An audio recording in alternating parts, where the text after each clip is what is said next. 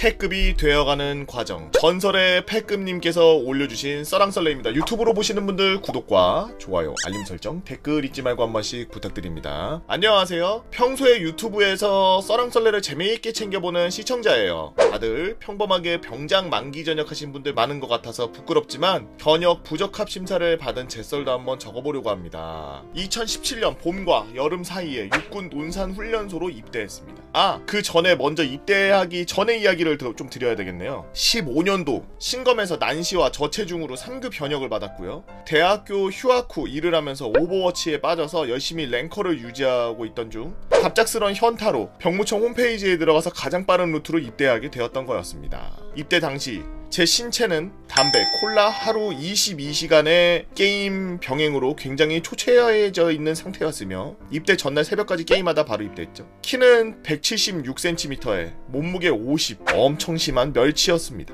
입대 날 울산에서 아버지 차를 타고 논산훈련소 앞으로 간 뒤 부대 앞에서 갈비탕 한 그릇 뚝딱 먹고 아버지를 먼저 보내드리고 호국 요람이 적힌 간판 아래에서 담배 한 대를 핀후 들어갔습니다. 한열대 피고 들어갔어야 되는데 후... 처음 1, 2주는 무리 없이 교육과 훈련을 받았고 동기들과 있는 게 즐거웠죠. 하지만 2주차 마지막 날 전날 비가 많이 와서 온 땅은 다 진흙밭이었고 너무 덥고 습해서 정신이 나갈 듯 말 듯한 상황에서 포복 약진 훈련이 시작되었습니다. 시작 지점에서 목표 지점까지 지그재그로 뛰면서 소대장이 포복 하면 엎드리고 약진 하면은 다시 일어나서 뛰고를 반복하고 있었죠. 포복 상태에서 뛰려고 하는데 갑자기 진흙밭에 다리가 밀리면서 옆으로 휙 꺾여버린 겁니다. 악! 소리를 내고 쓰러져 있으니 조교가 뛰어와서 상태를 보고 저쪽 가서 좀 쉬어 있어 라고 하였으나 소대장이 군인이 겨우 그딴 걸로 쉬냐? 빨리 안 일어나! 일어나서 뛰어! 이렇게 말씀을 하셔서 주변 동기들이 다 쳐다보고 쪽팔려서 아픈 것을 꾹 누르고 목적지까지 갔죠. 그렇게 도착하니 소대장이 소대원들을 모아놓고 저렇게 땡땡이처럼 넘어지고 다쳐도 다시 일어나서 뛰어야 여자친구가 생기는 거다! 저기 저 열애한 인원들처럼 하면 여자친구 안 생겨! 이렇게 말씀하시니 저는 그때부터 아프다는 말을 할 수가 없었죠. 당시에는 인터넷 편지라고 훈련생한테 오는 편지가 있었는데 전 여자친구가 없었지만 아는 누나나 여동생들이 많이 편지를 보내줘서 소대장은 여자친구 편지라고 생각했던 것 같더라고요. 그날 저녁 훈련이 끝나고 무릎이 너무 아파서 조교에게 찾아가, 찾아가니 진짜 아프면은 야 걸어다니지도 못해 이러면서 뿌리는 파스 하나를 던져주더라고요. 이때 눈물이 날 것 같았습니다. 이날 이후 수료 자대에 도착할 때까지 매일 무릎에 파스를 뿌리며 이 약물고 훈련을 받았고 완전 군장까지 하고 교장을 가는 각계 전투 20km 행군 때까지 한 번씩 무릎 때문에 쓰러지긴 했지만 별다른 조치는 없었고 단독 군장으로라도 끝내 훈련을 다 받아내야 했습니다. 그렇게 수료를 한 뒤 열차에 몸을 맡기고 경기도 어디인가 포병부대로 전입을 갔죠. 그곳은 6개월 동기제였으며 155mm 다련장을 운영하는 대대였고 그나마 사격 지휘병 주특기를 갖고 있어서 무리 없이 두 달간 부대에서 잘 적응해 갔습니다. 물론 그동안도 뿌리는 파스와 붙이는 파스를 계속 사용했으며 고통을 참으려고 하루에 타이레놀을 4알씩 꼬박꼬박 챙겨 먹고 있는 상태였죠. 하지만 가을쯤 20km 산악 행군이 시작되었고 박스로 군장을 채우는 선임들과 달리 2등병 1병들은 당연히 FM 완전군장을 하고서 훈련에 들어갔습니다.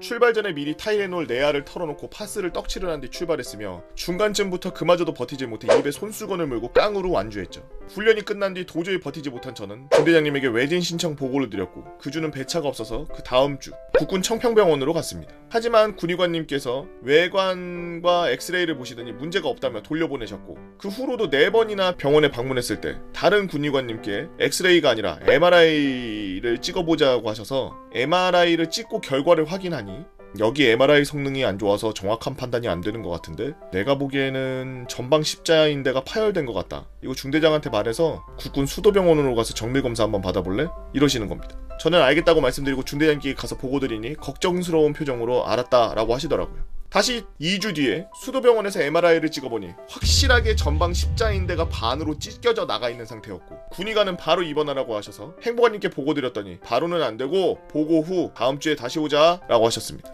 저는 그 말을 군의관에게 전달하고 다음 주에 짐을 챙겨 입원을 했습니다. 수술 환자들이 많이 밀려 있어서 입원 후 2주나 지나서야 수술을 할 수 있었죠. 수술을 하려고 무릎을 열고 군의관이 말하길 척추마취여서 소통이 가능한 상태였습니다. 아, 야.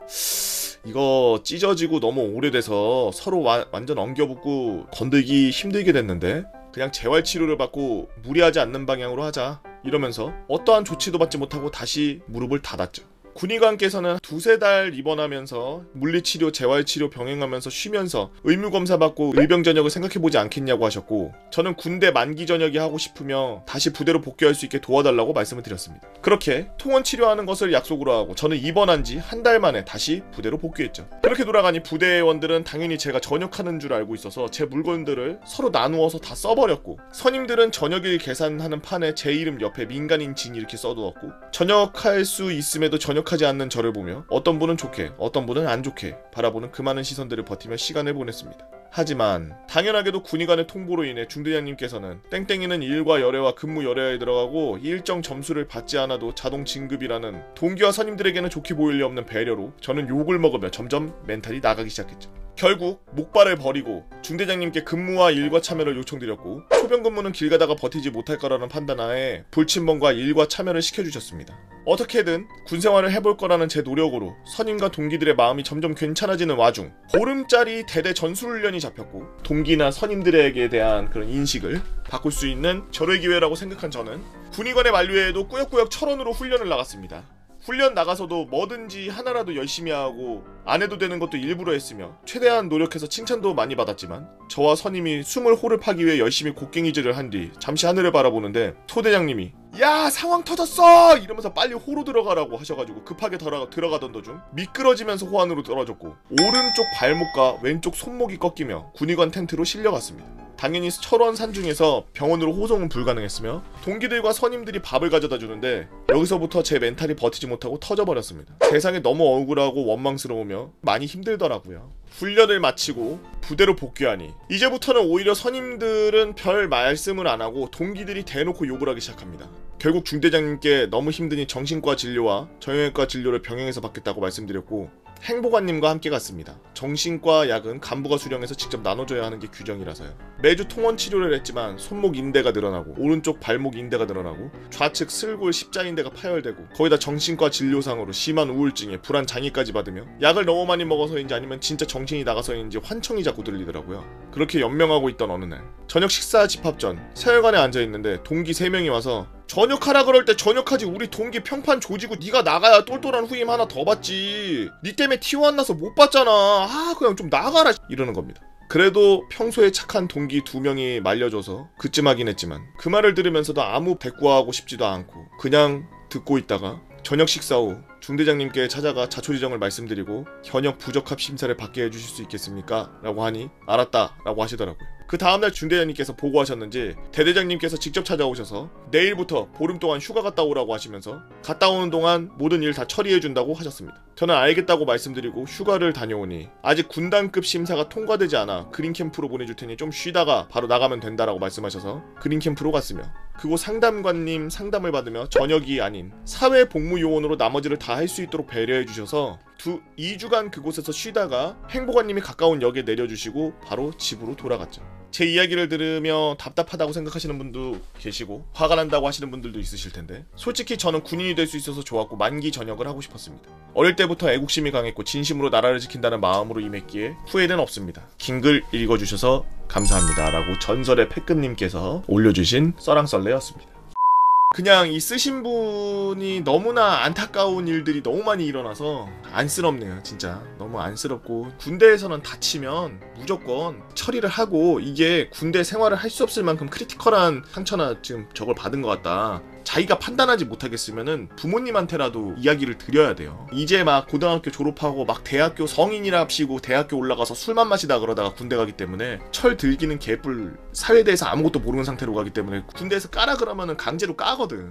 그러면은 몸 다 버리는 거야. 저도 이 군대에서 무거운 거 들다가 등 있는 데가 찍 그러면서 뭔가 되게 불편하더라고. 무거운 거 들면은 뚝 소리 나면서 또 한 번씩 불편하고 그래요. 고질병이 됐어요. 임무를 완수하고 국가에 뭐 충성을 하고 애국심이 있어서 열심히 군 생활하는 거는 정말 칭찬받아야 되고 박수 받아야 되고 정말 잘하고 있는 거는 맞습니다만 의욕은 불태우되 여러분들 몸이 강철이 아니라는 거 꼭 알아두시고 몸 관리 잘하십시오. 유튜브로 보시는 분들 여러분들은 어떤 이야기를 갖고 있나요? 여러분들의 이야기 네이버 카페 개보고 펜타버나 개펜다로 오셔서 써랑썰레 게시판에다가 글 남겨주시면 유튜브로 작업해서 업로드하도록 하겠습니다. 유튜브로 보시는 분들 구독과 좋아요, 알림 설정, 댓글 잊지 말고 한 번씩 눌러주시고요. 오늘도 나라 지키느라 고생하고 계시는 국군장병 여러분들 몸 다치지 말고 건강하게 전역하십시오.